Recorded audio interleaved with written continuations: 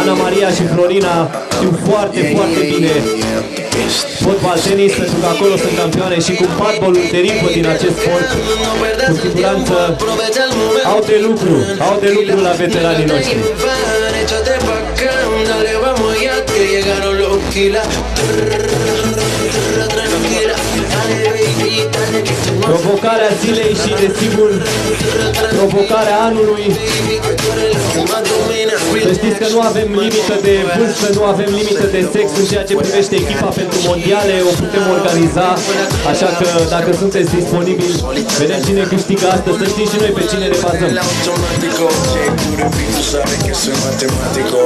Avem nevoie de un arbitru aici, competent. Au apărut discuții deja între femei și bărbați, cum era și normal.